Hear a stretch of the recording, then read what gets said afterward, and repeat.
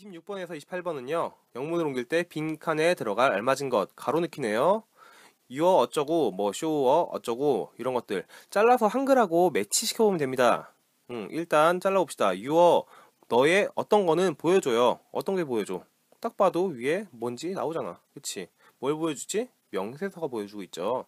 어떤 거를요? 어, blank of 527.4달러. 이거 여기까지 잘라보면은 527.4달러에 수익자로 지불할 잔액이 이거래. 그러니까 여기는 잔액이겠지. In your favor. 너를 수익자로 해서. 그치? 정답은요? 어렵지 않게 4번인 거 찾을 수 있습니다. 다른 건 몰라도 좀 전에 밸런스 했잖아. 밸런스 잔액이라는 거. 그쵸? 그래서 답은 4번입니다. 명세서는요. statement. 알려주는 거예요. 음, 내역이 나와 있는 것 명세서 답은 4번입니다. 27번 당사는요 귀사의 견적 송장 받자마자 전신송금으로 결제할 준비를 하겠습니다. 한글은 뭐 다 읽을 줄 알고 자 아래 거 잘라보면요 as, as, as soon as we receive your blank 어, 우리가 뭐뭐 하자마자 받자마자 너의 가로를 받자마자 뭐죠? 위에 보면 견적 송장이라고 써 있는 거 찾을 수 있어요. 어렵지 않습니다. We will arrange. 자 해석해 보면요. 우리는요. 어, arrange 할 거예요. 준비할 거예요. 뭘? 마련할 거예요. 뭘 마련해? 세틀먼트 결제할 결제할 준비를 할 겁니다. 근데 뭘로? by blank 뭐였지? 위에 보면 전신 송금이라고 나와 있죠. 그렇죠. 그래서 앞에는 견적 송장, 뒤에는 전신 송금입니다. 보기 먼저 봅시다. 1, 2, 3, 4. consular invoice가 뭐지? consular invoice. 네, 영사 송장이라고 합니다. 잘 모르겠죠? 어, 다시 설명해 줄게요. 2번에 proforma invoice는 견적 송장인 거 아는 사람은 알고요. 3번에 customs invoice, custom 세관입니다. 세관 송장이고요. 4번에 commercial invoice 다 알다시피 상업 송장입니다. 옆에 MT, TT, DD check. 이거 얘는 또 뭐야? MT는요. measurement ton? 아, 이거 그것도 MT죠. 근데 여기서는요. 이 송금 방식에 대해서 얘기하는 거잖아. MT는요. 우편 송금이라고 합니다. 얘도 다시 설명할게요. 옆에 TT는요. TT는 다 알고 있지. 전신환 송금. 그쵸? 전신 송금입니다. DD는요. DD 송금 수표라고 합니다. 4번의 check는요. check, check. 예, 수표를 얘기합니다. 일반적인 수표요. 그러니까 답은 2번인 거 크게 어렵지 않게 찾을 수 있습니다. 자, 송장의 종류, 인보이스의 종류에는요, 크게 이렇게 네 가지 정도를 얘기합니다. 다른 데 봐도 이 네 가지 정도만 설명을 하는데, 상업 송장은 여기 써 있는 대로 매매 계약 조건을 뭐 정당하게 이행하였음 밝히는 것 이렇게 뭐 이렇게 써 있는데 그냥 쉽게 생각하면은 돈에 대해 나와 있습니다. 내가 판매하는 이 제품의 단가는 얼마고요. 총 금액은 얼마고 그러니까 너 이만큼 나에게 돈을 줘야 돼. 라는 겁니다. 돈이 얼마인지를 확인해 주는 걸로써 사실 돈 벌기 위한 무역을 하잖아요, 우리가. 그러다 보니까 사업 성장이 그만큼 가장 중요하고 가장 기본적인 서류가 됩니다. 내가 돈 받아야 돼요라는 명세서 역할을 해줘요. 상품 명세서 뭐 거래 때 항상 쓰이는 문서고요. 다른 거 BL 발행할 때, 환화원 발행할 때, 뭐 LC 발행할 때 항상 상업송장은 기본으로 껴 있어야 되는 서류입니다. 무역에서도 기본 서류 세 가지라고 했을 때 기본적으로 이 상업통장 그리고 뭐 BL 뭐 선화증권 그리고 보험증권 뭐 이렇게 얘기를 하는데 그만큼 상업통장은 항상 껴있는 가장 중요한 서류 가장 기본적인 서류입니다. 자세한 건 읽어보시고요. 두 번째 견적통장입니다. 프로포마 인보이스라고 하는데요. 얘는요 사실 오퍼할 때 많이 쓰이긴 해요. 상호송장은 실제로 이제 상품 명세 역할을 하고 돈이 얼마다라는 거 청구서 역할을 하는데요. 견적통장은 말 그대로 견적 그러니까 실제 거래하기 전에 얼마쯤 돼요 이거 내가 난 판매 이 정도로 할 거예요라고 가짜 인보이스를 만드는 거예요. 그래서 실제로 이제 상업송장이랑은 효력은 다르지만 그래도 그 안에 들어있는 내용은 상업송장하고 거의 똑같이 생겼습니다. 거래 전에 어, 가격 견적해 주는 거니까 견적송장 보고 아 실제로 거래하면 상업송장이 이런 식으로 나오겠구나 라는 거를 알 수 있는 송장입니다. 그래서 거래 전에 만드는 겁니다. 거래하기 전에 오퍼 오퍼나 오더할 때 서로 견적송장으로 오퍼할 수 있다는 거. 자, 영사송장은요 컨슈러 인보이스라고 하고요. 어, 한글도 알아야 되고 영어도 알아야 됩니다. 자, 써있는 대로 수출국에 소재한다라는 거 뭐냐면 우리나라에 뭐, 뭐 미국 대사관, 영사관, 뭐 영국 영사관 이런 것들 음, 이런 쪽에서 자국의 영사한테 부탁하는 거예요. 이거 얘네들이 판매하는 게 제대로 돼 있는지 뭐 이런 것들 확인하려고요. 거기 밑에 써 있는 대로 어, 수입할 때 관세 등을 포탈하거나 경감받기 위해서 뭐 외화를 도피하거나 덤핑을 위해서 부정한 송장 작성할 수 있다. 왜 수출업자 작성하잖아요. 상업 송장은요. 송장은 수출업자가 직접 작성하는 거예요. 판매하는 사람이 작성하는 거니까 판매하는 사람이 사기치려고 맘먹으면 부정한 송장을 만들 수 있는데 이거를 니네가 영사가 한번 확인해 주시고요. 영사가 확인해서 사인해 주면 나 믿을 수 있을 것 같아요. 라는 게 영상 송장입니다. 그래서 사인해 주세요. 라는 문구가 기재되어 있다고 적혀 있죠. 자, 세관 송장은요, customs invoice라고 합니다. 아까 얘기한 대로 customs 원래 소문자로 쓰면은 뭐 관습, 습관 이런 건데 앞에 C가 대문자로 customs라고 되어 있으면 세관이란 뜻입니다. 알아두시면 좋겠고 세관 송장은요, 영사 송장하고 세관 송장은 공용 송장이라고 합니다. 상업 송장하고 견적 송장은 둘 다 그냥 합해서 이제 상업 송장이라고 얘기를 하는데 영사 송장, 세관 송장은 사실 이런 뭐 상업적인 용도보다는 확인하려고요. 뭘 확인하냐면 수출업자가 아까 얘기한 대로 수출업자가 이제 그 commercial invoice를 만드는데 이게 제대로 만들어진 건지 혹은 뭐 사기를 치는 게 아닌지 내가 이런 위험을 회피할 수 있도록 한 번 더 영사 혹은 세관에 확인을 받는 겁니다. 해서 세관 송장은요 수입국의 세관이 확인하는 송장이고요 영사 송장하고 비슷합니다. 근데 뭐 영사가 이제 확인하는 게 아니니까 영사 서명 받을 필요는 없고요. 양식 뒷면에 있는 원산지에 수출국 이름이 기재되어 있어야 되고 한 번 더 수입국의 세관이 확인해 줍니다. 그래서 그러니까 나만 확인하는 수출업자와 수입업자만 확인하는 게 아니라 세관까지도 우리나라의 세관, 나의 세관 쪽이 수입업자의 세관 쪽이 한 번 더 확인하니까 좀 더 안전할 수 있다는 겁니다. commercial invoice하고 상품을 직접 비교할 수 있으니까. 그래서 송장의 종류는 이런 네 가지 정도 얘기를 하고요. 자, 송금 방식이요. 좀 전에 설명한 거 그 네 개만 설명을 하면요. 일반 일단 기본적으로 TT telegraphic transfer라고 하죠. 전에 이거 스펠링도 물어봤습니다. 스펠링을 뭐 직접 쓰는 건 아니지만 어, 이 TT가 이 telegra, telegraphic transfer 확인하는 이제 문제가 나왔었습니다. 그러니까 full name 알아두시면 좋겠고 이 모든 단어가 마찬가지예요. 다 쓸 줄은 몰라도 돼. 근데 눈으로 봐서 이게 맞는 건지 틀린 건지는 알아야 됩니다. 그러니까 많이 읽어보세요.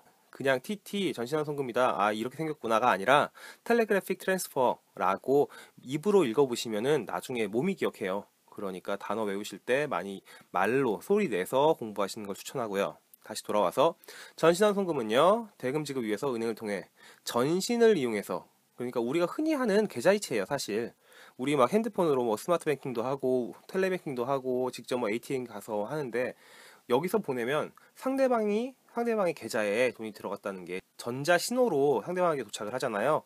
이런 송금하는 방식을 전신환 송금이라고 하고요. 우리가 일반적으로 하는 송금 이런 것들이 TT입니다. 편리하고 간편하다라는 특징이 있고요.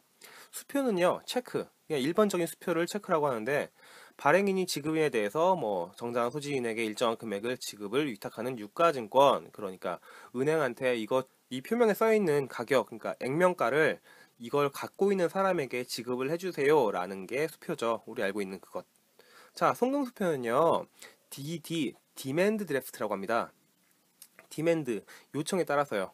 자 보면요. 수입자가 결제 대금에 해당하는 현금을요 은행에 예치합니다. 은행이 DD 발행해 주면요. 이거를 수입자가 수출자한테 직접 우편 발송합니다. 그러니까 이거 잊어버리면 어떡해? 망하는 겁니다. 여기 써있는 대로 분실이나 도난의 위험은 다 수입자 부담입니다. 그러니까 소액을 송금하고 물품 인도할 때만 이거 큰 금액 했다가 잊어버리면 난리 납니다. 그러니까 작은 금액에서만 사용하는 겁니다. 뭐 편리하긴 해요 이것도. 어쨌든 우편 송금이요. 어, MT 아까 앞에서 봤던 MT는요 메일 트랜스퍼입니다. 그래서 수입자 요청에 따라서 수입지의 송금은행이 송금 수표 발행합니다. 그래서 수출지의 지급은행 앞으로 우편 발송합니다. 우편 발송은 똑같은데 위에 송금 수표는요. 어, 수입자가 직접 보내는 거예요. 근데 우편 송금은 수입자는 상관없고 수입지의 은행이요. 은행이 직접 어, 보내주는 거야. 그러니까 이거 만약 잊어버리면 누구 책임? 위에 송금 수표는 수, 수입자가 보내니까 수입자 책임인데요. 우편 송금은 이거 은행이 보내는 거잖아요. 그러니까 수입자 입장에서는 좀 더 안전한 겁니다. 어, 내 손에 거치지 않으니까 수입지의 은행이 알아서 책임지니까 DD보다는 안전합니다. 하지만 우편으로 보낸 자체가 소금투표도 마찬가지지만 시간이 오래 걸려요. 그러다 보니까 전신화는 그러니까 예를 들어 TT는 그냥 딱 지금 송금하면 상대방 바로 지금 받죠. 어, 시간이 별로 안 걸립니다. 금방 거래가 되는 반면에 송금수표나 우편 송금은요. 어, 직접 우편으로 보내기 때문에 이거 시간이 좀 걸립니다. 그러니까 긴급하지 않은, 급하지 않은 작은 금액에서만 이용하는 경우가 대부분입니다. 자, 넘어갑니다. 29번이요. 다음 미술친 우리말을 영작할 때 옳은 것은요. 부산 해운은 5월 15일경에 부산을 출항하는 블루오션호의 화물 100톤을 선적하는데 최선을 다할 겁니다. 그대로 그냥 해석하면 되는 거 가로 넣기니까요. 나머지는 딱 봐도 쉽죠. 자 일단 해석해 봅시다. 연습이니까 다. 부산 쉬핑 라인 얘가 부산 해운이네요. 부산 해운은요. will do their best. do their best. 그러니까 최선을 다할 겁니다. 뭐에 대해서? to ship 100톤이요. 100톤에 아 카고의 100톤. 그쵸. 화물 100톤을 선적하는 것, to ship. 음, 선적하는 것에 대해서 최선 다한대요. per MV Blue Ocean. 어? MV가 뭐지? MV는 음, 내연 기선이라는 뜻입니다. motor vessel인데 사실 몰라도 돼요. 그냥 이렇게 대문자 나오고 뭐 이렇게 나오면 배 이름 얘기하는 거야. Blue Ocean이라는 배의 이름이에요. 어, 이런 배에 보낼 거예요. 뭐를? 음, 가로에 뭐 들어와야 돼? 5월 15일경에 부산 출항하는 이 내용이 여기 빠졌잖아요. 그러니까 여기까지 유추하는 거는 어렵지 않아요. 이거 한글 해석 다 하지 못해도 그냥 딱 봐도 하나씩 하나씩 지어가 보면 가로 안에 들어갈 게 이런 내용이구나. 음, 보기를 봐도 이 내용을 알 수 있습니다. 그러니까요. 1, 2, 3, 4 보시면 되는데 제가 이거 띄어쓰기를 조금 다르게 놨어요. 왜냐면 앞부분하고 뒷부분하고 따로따로 보는 게 더 공부가 될 것 같아서. 자, 이렇게 잘라 봅시다. 해서 앞부분 해석, 뒷부분 해석 따로 할게요. 자, 일단은요. 1번에 Living for 부산. 무슨 얘기야? 3번에 Sailing for 부산. 마찬가지입니다. 부산을 향해 출발하는 겁니다. Living for 부산. Sailing for 부산. 부산을 위해서 출발한다. 그쵸? 부산을 향해 출발한다는 겁니다. 2번에 left 부산. left는 live의 과거죠. 음, live 부산. 떠난다. 부산을 떠난다는 거야. 그쵸? 그러니까 부산에서 출발한다는 거겠죠. 자, 4번이요. sailing from 부산. 음, 부산으로부터 출발한다는 겁니다. 그러니까 출발지와 도, 도착지가 다르다는 거야. 1번하고 3번은요. 부산을 향해 출발했으니까 부산은요. 도착지입니다. 2번하고 4번은 부산을 떠났고요. 부산으로부터 출발했어. 그러니까 부산이 출발지인 겁니다. 서로 다른 거 알죠? 그러니까 문제에서는요. 5월 15일경에 부산을 출항하는 부산에서 출항한 거야. 그러니까 답은 2번이나 4번이 돼야 되는 거죠. 자, 다음이요. 오른쪽에 on or before, on or about. 이거 우리 공부했었지. on or before 하면 before 전, 이전, about은 약, 대략, 그쵸? 또 하나 on or after가 있었죠. 이런 것들. on은요 제 날짜 얘기하고요. before는 이전 얘기하는 겁니다. 그래서 첫 번째 on or before May 15 무슨 얘기야? 5월 15일 이내 그러니까 이전이란 얘기예요. 그러니까 5월 15일, 14, 13, 12, 11 이 앞전을 얘기하는 거고요. 5월 15일까지 5월 15일 포함입니다. 그렇죠? 자, or about은요. about 약 대략 그러니까 이 주변 5월 15일 주변입니다. 플러스 마이너스 5일입니다. 그러다 보니까 5월 10날부터 5월 20날까지 그리고 5월 15일도 on or about이니까 on 그날 당일 포함. 그래서 총 11일의 그 기간을 얘기를 합니다. 해서 답은요? 네, 4번입니다. 자, 30번에 31번 다음을 읽고 질문에 답하래요. 밑에 지문이 있고요. 그 밑에 문제 있네요. 문제 먼저 보면요. 위서신 작성 의도는 무엇인가? 아, 지문 읽어야 되네요. 지문부터 한번 어차피 할 거 해석해 봅시다. 첫 번째 문장부터 We have, from, we have, we have heard from the Chamber of Commerce. 자, 어디까지 끝냐면 여기까지 끊, 끊어보자. 다시.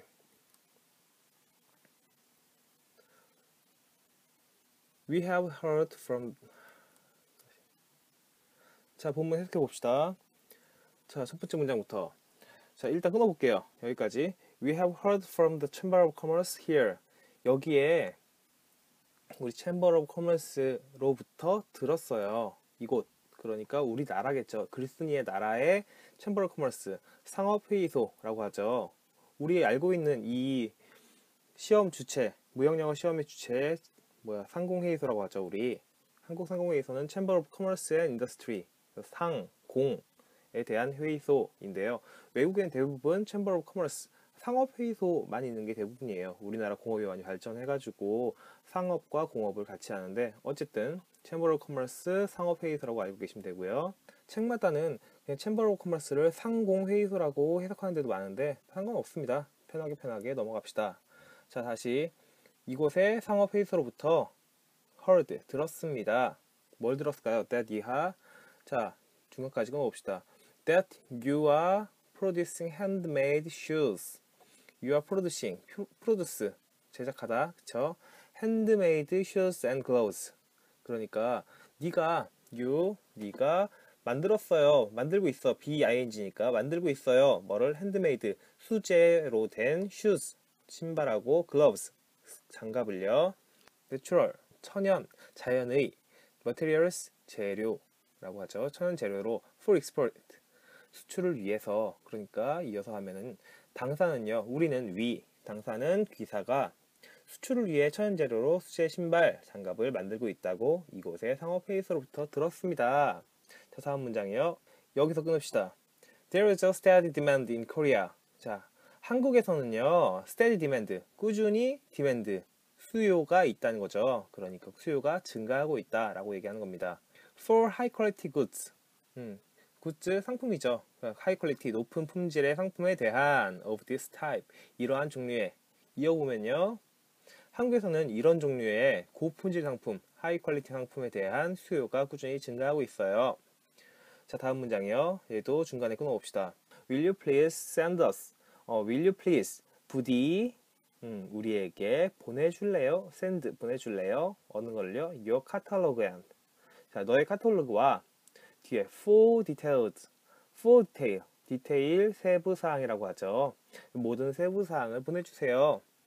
of your export prices and terms of payment. 너의 수출 export prices 수출 가격 그리고 terms of payment 지불에 대한 조건을 얘기합니다. 그래서 이어 보면요. 귀사의 카탈로그와 귀사의 수출 가격 및 지불 조건의 모든 세부 사항 디테일들을 당사에게 보내주시겠습니까? 그리고 마지막 문장 귀사로부터 곧 좋은 소식을 아 소식을 듣기를 고대하고 있습니다. 라는 거 작성 의도 왜 했을까요? 음, 1번은요, 사업 제안을 위해 to make a business proposal. 2번은요, make a initial order. 이니셜, 우리 이름에 이니셜 있잖아요. 첫, 첫 번째 글자. 그것처럼 이니셜 첫 주문입니다. 3번이요, to accept a firm offer. firm offer를 accept 하기 위해서, 수락하기 위해서. 4번이요, negotiate on the price. 가격을 negotiate, 협상하기 위해서. 자, 답은요, 어렵지 않게 사업 제안이라고 알 수 있을 겁니다. 내용 자체가 뭐 더 알려드릴 게 없죠. 자, 다음, 문, 다음 문제 31번입니다. 미투친 가를 영작한 거예요. 가, 귀사로부터 곧 소식을 듣기를 고대하고 있습니다. 우리 이거 맨날 나오는 건데 사실 고대하다, 기대하다 라는 표현에서 가장 많이 쓰이는 게 looking forward to. 그쵸? 근데 항상 이상하게 무형영화 상급은 looking forward to 되게 좋아해요. 자, 답부터 보면요. 답은 3번입니다. We are looking forward to hear from you. 맞지 않나요? looking forward to. 고대하다, 기대하다. 아닙니다. looking forward to. look forward to 다음에는요. 동사 원형이 와야 돼요. 다시 말하면 look forward to 다음에는요. 명사형이 와야 됩니다. 그래서 hear는 동사니까 안 되죠. 올려면은 hear가 아니라 hearing이 와야 됩니다. 그래서 항상 look forward to에 대한 문제는 항상 나오는 것 같아요. 한두 문제, 한 문제 정도 나오는 것 같아요. 알아두시면 좋겠습니다. 나머지 세 개들도요. 다 고대하다, 기대하다, await, expecting to, anticipate 이런 것들 많이 쓰여요. 그러니까 이런 옳지 않은 것은 이라고 했을 때 옳은 표현들도 꼭 한 번씩 봐주셔야 됩니다. 다음에는 똑같은 문제가 나오진 않을 거거든요. 그러니까 비슷하게 나올 테니까 이 중에 하나를 조금 바꿔도 예를 들어 4번에 anticipate here 이라고 동사 원형이 올 수도 있는 거고요. 음, 여러 가지로 나올 수 있으니까 꼭 맞는 것도 다 봐주시길 바라겠습니다. 자, 다음이요. 32에 33 다음 문장을 영작할 때 가로 안에 들어갈 알맞은 단어, 어구, 고르래요. 자, 32번부터 봅시다. 동상사는요. 동상사, there이죠. 음, there 이곳 업계에서는 대단한 신뢰를 받고 있습니다. 이런 문장들은요. 일단 밑에 거랑 껴맞추기 위해서 가로에 뭐가 들어가는지를 찾아야 됩니다. 밑에 거 한번 해석해 볼 텐데요. 잘라서 보면요. The firm 음, enjoys 회사는요 enjoy 즐기고 있어요. enjoy 뭐를 즐겨? an absolute absolute 완벽한 음, 확실한 대단한 이런 거죠. 그럼 뭘 즐겨요? 네 신뢰를 즐기고 있겠죠. 네 어렵지 않게 찾을 수 있을 겁니다. 뒤에 among the business 가로 here 자 among the business 이곳의 사업 땡땡땡 사이에서 음, 땡땡 사업 업계네요. 그쵸? 그래서 사업 계열, 업계라고 합니다. 사업 계열.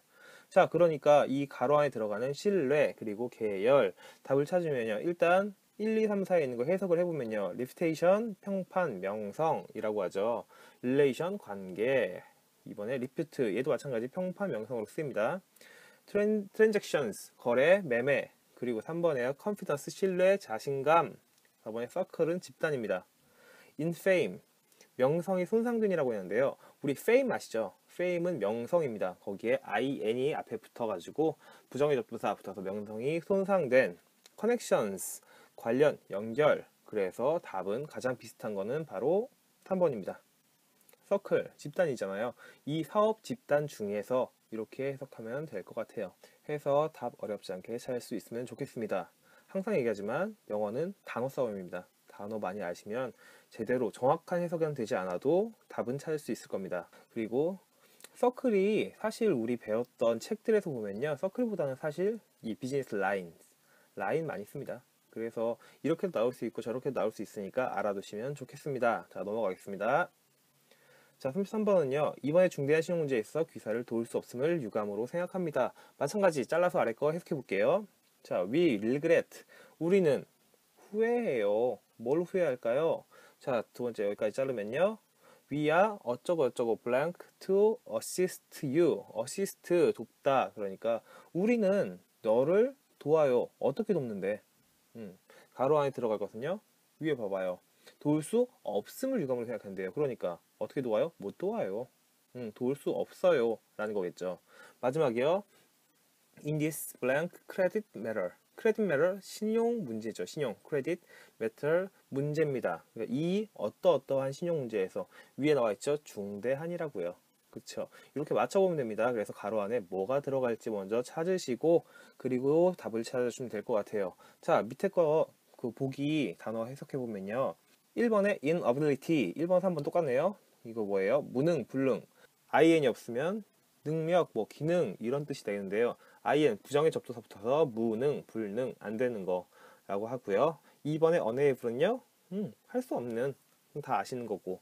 자, 그 옆에 critical 중대한 비판적인 crucial 중대한 결정적인 creative 창의적인 창조적인 밑에 obscure obscure obscure 자 밑에 obscure 모호한, 무명의 라는 뜻입니다. 자, 단어 모르는 것들은 체크해 두시고 꼭 외우셔야 됩니다.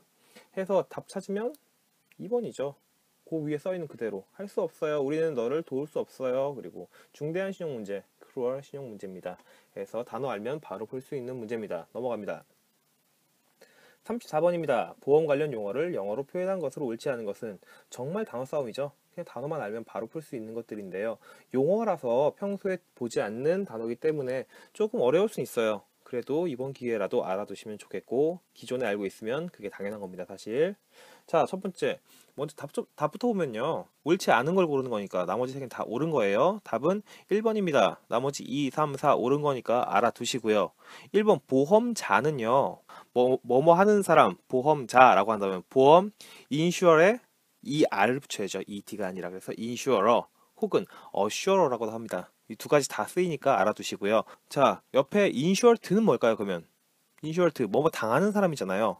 뭐뭐 당하는 사람은 ED 혹은 EE가 뒤에 붙습니다. 그래서 보험을 당하는 사람, 피보험자라고 하죠.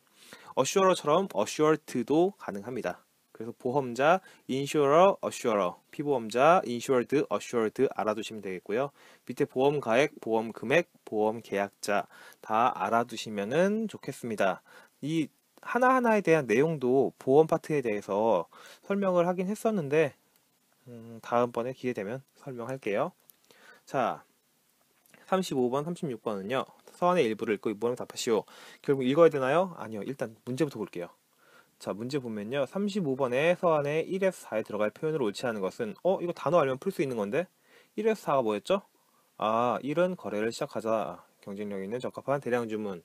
자, 이거 하나씩 껴 맞춰 보면요. 일단 답부터 보면은 자, 답은 2번이고요. comparable, compare가 compare에서 형용사형을 바뀐 거죠. 비교할 만한 뭐 비슷한 이런 뜻으로 쓰입니다. 경쟁력 있는 이란 표현은 아니고요. 자, 다음 36번입니다. 위서안에 밑줄 친 A를 올바르게 경작한 것. A는 뭐였죠? 이겁니다. 당사는 LATV 가격을 귀사에 최상 어쩌고저쩌고 이런 내용인데요. 영작하면요. 영작하기 전에 밑에 거 먼저 1, 2, 3, 4 보면요. 다른 것들이 있어요. 음, 딱 보니까 가장 대표적으로 다른 거 1번에 DDP, 2번에 CFR, 3번에 CIF, 4번 CFR 이거 뭐죠? 인코텀즈죠. 그렇지.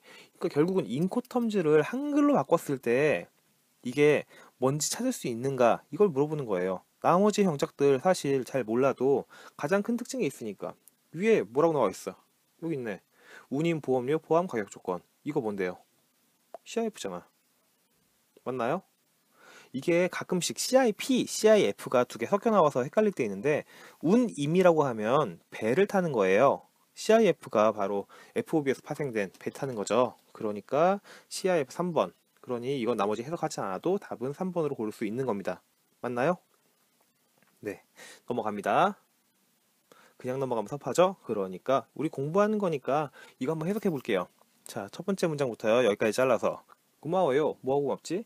6월 7일 음, 준 세븐에 너의 편지에 대해 고마워요. 기사의 편지 매우 감사합니다. 어떤 거에 대한 편지야? proposing to 거래를 시작하다 라고 합니다. 자, 우리와 뒤에 LED, 세비, LED TV 세트에 대한 거래를 시작하고자 proposing, 제안한 너의 편지에 대해 고맙다는 겁니다. 그래서 이어보면 같은, 같은 내용이죠. 자, 다음 문장이요. We are glad to. 음, 여기까지 끊어봅시다. 우리는 기뻐요. glad. 기쁩니다. 뭘 해서? learn. 배워서요. 어떤 걸 배웠어요? 여기까지. You are especially. 특히, 음, interested in. 관심이 있어요. 어떤 거에? exporting LED TV set. 음, LED TV 세트를 exporting. 수출하는 것에 관심이 있어요. 특히 관심이 있대요. and. 그리고, regarding these products. 자, 이 제품에 대해서요. 음, 이 제품에 관하여서, 음, 관하여서 뭐, we may say, 우리는 얘기할 수 있어요. 뭐라고요? We are specialists. 어, 우리는 전문가라고 말할 수 있어요. 부드럽게 이어보면요. 당사는 귀사가 특히 LED TV 세트의 수출에 관심이 있다는 것을 알게 돼서 glad, 기뻐요. 그리고 이 제품에 대해서는요, 디지 프로덕트는요, 우리가 당사가 전문가라고 말씀드릴 수 있습니다. 음, 우리 잘났어요. 우리 잘해요. 라는 얘기겠죠. 자, A는 뭐 음, 아까 했죠. 그대로 그냥 문장만 비교해서 보시고 공부해 두시면 좋을 것 같습니다. 자, 다음 문장이요. 마지막 문장. If your price가 경쟁력 있는 음, 만약 너의 가격이 경쟁력 있고 and 그리고 다음 여기까지 끊어서 The merchandise 적합한 for our trade 우리의 트레이드에 거래의 상품이 merchandise가 적합하다면 마지막 we will be able to be able to 뭐 할 수 있어요 우리는 할 수 있어요 뭐를 place 대량 주문 대량 주문을 할 수 있습니다 라고 보시면 되겠습니다 해석 자체는 어렵지 않습니다 해서 이어보면 음, 막 얘기한 내용 그대로 돼서요. 전체 내용들 한 번씩 꼭 해석해 보시면은요.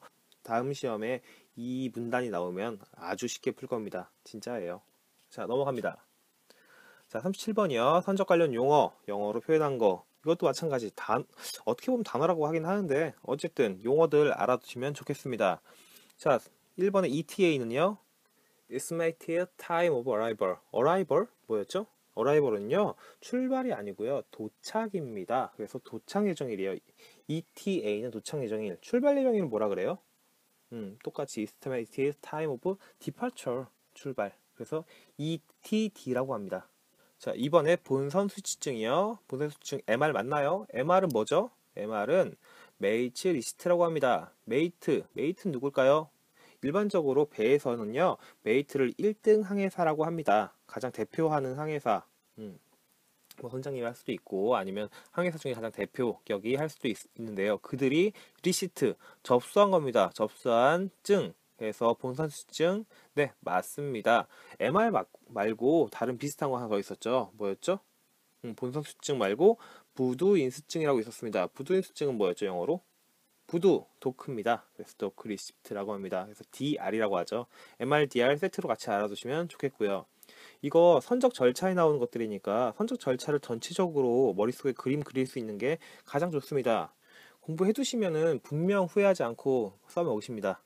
음, 그러니 음, 기억 안 나시는 분들은 뭐 책을 보셔도 좋고 아니면 저에게 와서 한번 듣고 가시는 게 좋을 것 같아요. 교무실로 오세요. 자, 3번이요. 화물인도지시서 어? 뭐였지? LG? LG는 뭐였죠? LG는 Letter of Guarantee라는 거였어요. Letter of Guarantee 한글로 뭐였죠? 수입화물 선취 보증입니다. LG는 언제 쓰냐면 BL이 있어야 물건 찾는데 BL이 아직 안 왔어요. 물건이 먼저 도착했습니다. 이럴 때 LG를 사용해서 물건 찾는다 라고 얘기했었고요. 그럼 화물 인도지시서는요. 우리 배웠었죠. 뭐라고? DO라고요. Delivery Order라고 배웠습니다. 네, 다음이요. 4번에 평방미터? 아, 갑자기? 음, CBM 평방미터.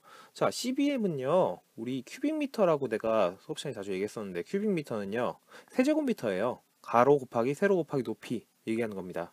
그래서 얼마나 크기를 갖고 있느냐라고 하는 건데요. 이게 한글로는요. 이게 참 어려워. 입방미터라고 해요. 음, 공간을 얘기할 때 입방미터라고 하고요. 평방미터는요. 우리 옛날 단위에 집이 몇 평이다. 1평, 2평, 3평 이렇게 얘기하죠. 평은 가로 곱하기 세로예요. 그래서 square meter라고 하고요. 제곱미터입니다. 해서 답은 2번으로 아까 찾았었죠. 어렵지 않습니다. 자 다음이요.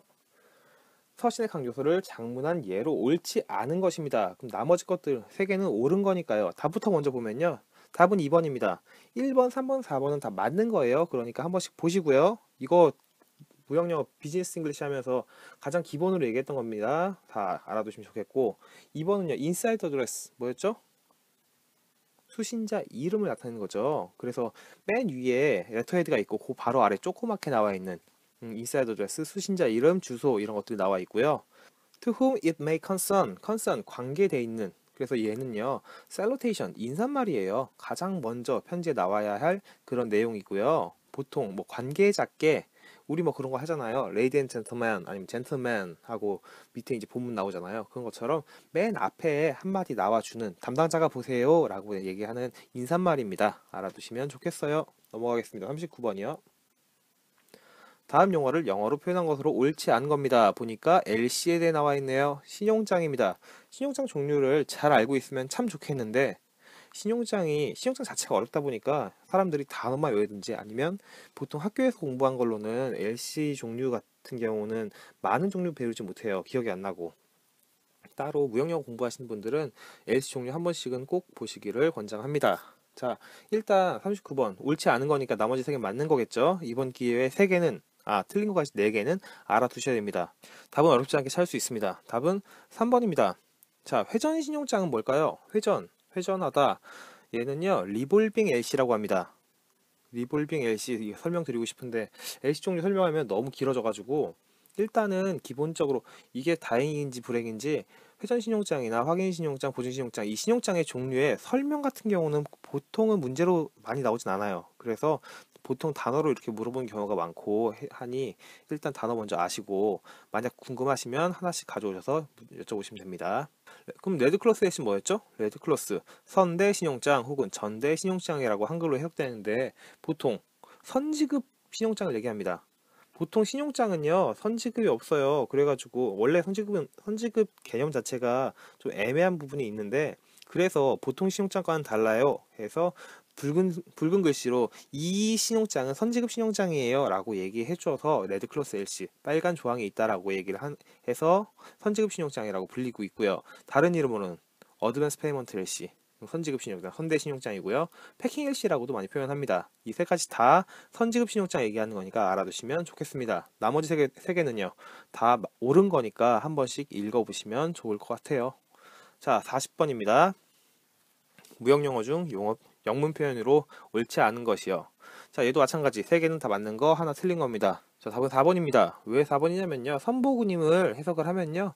lump sum freight라고 얘기를 해요. 음, 아, 그냥 이름만 한번 보시면 될 것 같아요. 얘 사실 여태까지 무역영어 하면서 실제로 이렇게 나온 거 처음 본 것 같기도 하고 그래요. 자, dead freight는요. 부적 운임이라고 합니다. 얘는 종종 나와요. dead freight는. 뭐냐면 아, 설명 설명을 해야 되나 말아야 되나 미치겠네. 자, dead freight 음... 자, dead freight는요. 부적운임, 공적운임이라고 얘기합니다. 자, 부적운임은요. 이 전인가 전전에서도 사실 이거 나오긴 했는데 어, 내용 알아두시면 좋을 것 같아서 부적운임은 어, 배를 빌렸는데요. 배를 charter했는데 뭐 예를 들어 500개를 내가 싣기로 했어요. 500개에 대한 공간을 빌렸는데 실제로 내가 막 그 생산을 하다 보니까 300개밖에 못 만들었어. 그래서 300개만 보내는 거야. 근데 500개 계약했잖아요. 그러니까 그럼 나머지 200개는 어 나 이번에 원래 500개 보내기로 했는데 예약했는데 300개밖에 못 보냈어요. 그러니까 300개에 대한 돈만 낼게요. 안 됩니다. 나머지 싣지 않은 계약한 부분에 대해서는요 다 돈을 지불해야 된다는 게 부적운임 혹은 공적운임이라고 얘기를 하는 겁니다. 3번 같은 경우는 자주 나와요. 선불운임, 뭐 freight, prepaid 어, 먼저 지불된 운임이에요. 음, 반대로 후불운임도 종종 나옵니다. 같이 세트로 해서 freight, 콜렉트라고 합니다. 그래서 선불, 후불 개념 같이 알아두시면 좋을 것 같아요. 얘도 문제 나오면 다시 한번 말씀드릴게요. 41, 42 다음 내용 읽고 물음에 답하시오. 문단 나왔으니까 자연스럽게 문제 먼저 보면요. 자, 서신은 무엇을 나타내는가? 아, 결국은 대충이라도 읽어야 되는 상황입니다. 뭐 밑에 거야 A에 바꿨을 수 있는 거 단어만 알면 되지만 어쨌든 41번 위에서 문장 먼저 해석합니다. 어차피 공부하는 거 해봅시다. 자, 첫 번째 문장부터 We have received 음, 우리는 받았어요. 뭐를? Your firm offer 확정 청약을 받았습니다. Thankfully 감사히요. 자, 다음 although your product 여기까지 첫 번째 줄만 끊으면은 비록 뭐뭐일지라도 although 그쵸? 비록 your product 너의 제품이요. 너의 제품의 퀄리티가 impressed us. 우리에게 감명 깊었더라도 어떻게? favorable favorable 호의적으로. 음, 그러니까 좋게 감명 깊었어. 되게 좋은 인상을 주었어. 라고 할지라도 다음 we regret that. 여기까지 끊, 끊어봅시다. 우리는요 regret 후회해요. 뭘 후회해요 자, the business cannot be complete. 음, 비즈니스는요, cannot be complete. 완전히 될 수 없어요. 완전하게 될 수 없습니다. 뭐가 at your current price. 무슨 얘기야? 너의 현재 가격으로는요. 자, 다음 as it is much higher. 어, 이거 되게 높아요. 훨씬 높아요. 뭐보다? than that of your competitors. competitor 경쟁자라고 하죠. 경쟁자들의 그것보다. 그건 뭐야? 위에 얘기하는 가격이겠죠. 현재 가격. 그래서 이어보면요. 귀사의 제품 품질은 우리에게 되게 좋은 인상을 주었어요. 그런데 귀사의 경쟁사보다 훨씬 높은 지금 가격 때문에 현재 가격 때문에 사업을 완료할 수 없어요. 그러니까 너랑 거래할 수 없어요. 그래서 유감입니다. 라고 얘기하는 겁니다. Are therefore 그래서요. 음, 우리는요. Are afraid 두렵습니다. 뭐가요? There is little prospect. prospect란 단어를 알면 바로 해석할 수 있는데요. 모르시면 지금 외워두시면 됩니다. 얘는요, 가망이 little, 거의 없다 라고 합니다. of doing business with you. 너랑 사업을 하는데, 거래를 하는데요. unless, unless 많이 나오는 겁니다. unless는 만약 뭐뭐 하지 않는다면, if not의 뜻입니다. if not. 그래서 만약 some substantial 본질적인 discount 할인 is allowed 허용되다 그러니까 본질적인 할인을 허용하다 허락하다 하지 않는다면 unless니까요 해서 쭉 이어보면은 그래서 따라서 therefore 따라서 상당한 할인을 해주지 않는 한 귀사와 거래할 가능성은 거의 없습니다. 어리를 합니다. 라는 겁니다. 자 마지막 문장 We trust 우리는 믿습니다. You will make every effort 음, every effort, make every effort, 최선을 다하다, 노력을 하다. 그쵸? to revise the price. revise, 수정하다. 라는 거죠. 우리 LC 수정할 때 revise 많이 쓰죠. 알아두시면 좋겠고요. and look forward to 뭐뭐를 기대하다, 고대하다. 뭐를요? your reply soon. 너의 빠른 답장 고대해요, 기대해요. 이어보면요. 당사는요. 귀사가 가격 수정하기 위해서 최선을 다할 것이라 믿고 그리고 기사의 빠른 답장 고대합니다. 기대합니다. 라는 겁니다. 전체 해석 한 번씩 봐두시고 해석 각자 해, 보시면 참 도움이 될 것 같다 라는 생각이 드네요. 자 그래서 우리 아까 위 서신은 무엇을 나타내는가 라고 했죠. 자 1번 포 오퍼는요 확정 청약이라고 하죠. 2번은 수정 청약 counter offer acceptance 승낙 4번에 substantial order 음, substantial 상당한 꽤큰 음, 규모가 큰 주문 얘기합니다. 답은요? 2번이죠. counter offer. 음, 너 다 좋은데 뭐 품질도 좋고 다 좋은데 가격이 너무 비싸. 경쟁자에 비해서. 그래서 가격 좀 낮춰줄래? 라고 counter offer 한 겁니다. 그쵸? 자, 넘어갑니다. 다음 문제. 42번 밑줄 친 부분 A와 바꿔 쓰인 단어 A 아까 나왔었는데 prospect 뜻이 뭐였죠? 가망, 예상, 전망. 그래서 가망이 거의 없다라고 했었잖아, 아까. 그쵸? 자, 1번에 evaluation 무슨 뜻이죠? 평가란 뜻입니다. 2번에 possibility 가능성, 3번에 suspicion 의심, 4번에 pertinence 적절, 일치. 답은 2번입니다. 가능성, 가망 비슷하게 쓰일 수 있겠죠? 자, 다음 문제요. 43번, 44번은요. 문장 영작한 것은 옳지 않은 것입니다. 자, 43번 옳지 않은 것이니까 나머지 세 개는 다 옳다는 겁니다. 하나만 고치면 되겠네요. 당사는 저렴한 가격으로 공급할 수 있다라고 합니다. 답부터 보면요. 답은 4번입니다. 아, 이거 제가 들릴 때 답 먼저 안 드리고 문제 뭐야 문제 먼저 보여드리잖아요. 만약 풀고 싶으면 거기서 잠깐 멈춰놓고 푸세요.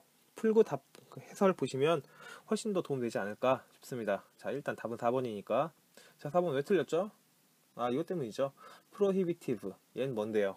뜻이 엄청나게 높은 비싼 가격을 얘기합니다. 저렴한 가격 아닙니다. prohibitive, prohibit. 음, 거부보다 거절하다, 어, 허용하지 않다 이런 뜻이잖아요. 그래서 허용하지 않는 가격, 그러니까 엄청 비싼 가격이겠죠. 1번의 attractive price는 attractive는 매력적인 매력적인 가격이에요. 그렇죠? 2번에 favorable 호의적인 호의적인 가격 저렴한 가격이겠죠. 3번에 competitive price 아까 나왔던 경쟁력 있는 가격입니다. 그래서 이런 표현들도 같이 알아두시면 좋겠습니다. 44번입니다. 불량 제품을 새 제품으로 교체해 주세요. 뭐 불량 제품, 새 제품 왔다 갔다 그 자리 싸움 하겠네요, 아마. 자, 답은요. 3번입니다. 왜 3번일까요? 자, 여기서 수거 하나 알아두시면 조금 편할 것 같아요. 3번하고 4번하고 거의 비슷하죠. 근데 보니까 다 비슷한데 전치사 with와 for가 다르죠. 이게 해석이 어떻게 되냐면 substitute B for A는요. A를 B로 교체하다고요.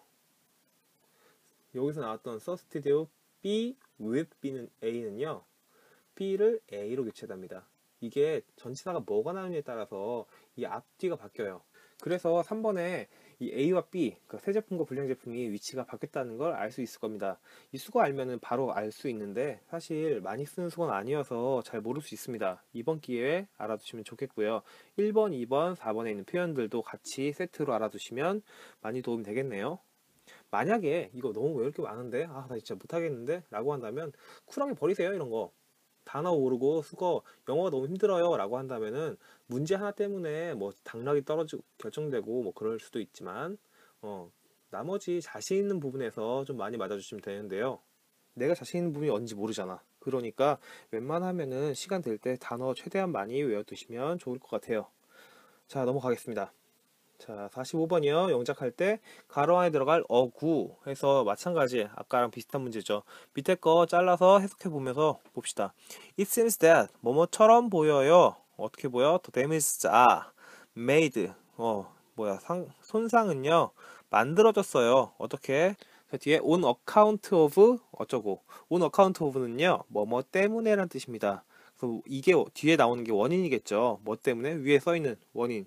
뭐예요? 부적절한 포장 때문에 그쵸? 위에 그대로 있는 거 자, 하나씩 하나씩 끼워 맞추면서 가로 안에 뭐가 들어갈지 한글부터 찾는 게 먼저입니다. 자, 답 보면요. 1번입니다. 자, 1번에 proper packing은요. 네, 적절한 포장이라는 뜻입니다. 만약에 이것도 뭐 불안전한 포장으로 부적절한 포장으로 음, 표현할 수 있어요. 음, I 앞에다가 그 부정에 접수해서 im 붙여가지고 improper 패킹 하면 불안전 포장이라는 뜻이 됩니다. 해서 다음에 똑같은 문제가 나오지 않더라도 이런 식으로 섞여, 섞여서 다른 거 하나를 고쳐가지고 또 문제를 낼 수 있겠죠. 그러니까 같이 세트로 이번 기회에 알아두시면 좋겠습니다.